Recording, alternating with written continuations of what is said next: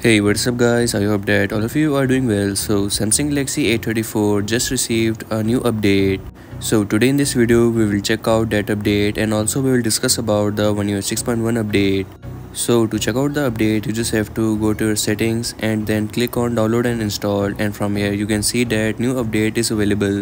Of 1st April 2024 it is a security patch update and it came after the 1st January security patch update Talking about what's new, so the device stability improvement and bug fixes, new or enhanced features, and further improvements to performance can be seen with this new update. Also, your device security will be enhanced with this security patch update. So, first you have to download it. It is a 258 MBs of update. And as you can see over here, the downloading has been begun. Now, I will fast forward this part of the video and finally the download is completed and now you just have to install it. While the installation process you will be unable to use your phone. To install it you just have to click on install now and the installation process will begin by restarting your device. This installation process might take a while so you just have to wait over here.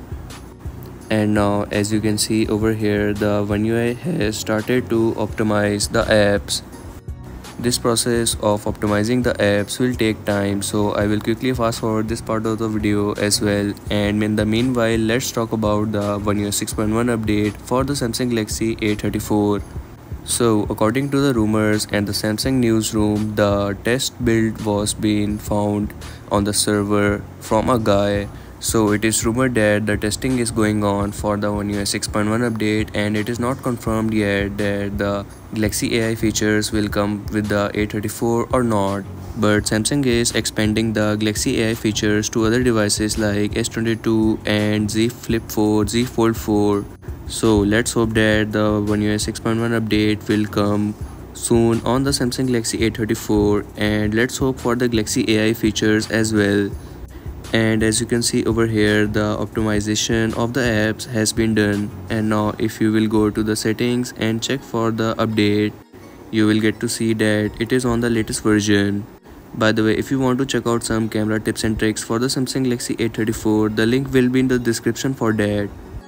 And over here as you can see that it is on the latest 1st april security patch and that's a wrap for today's video. Check out this new security patch update. And do not forget to like and subscribe as i will keep you updated with the one UI 6.1 update for the samsung galaxy a34 and let me know in the comment section if you have any news regarding the one UI 6.1 for the a34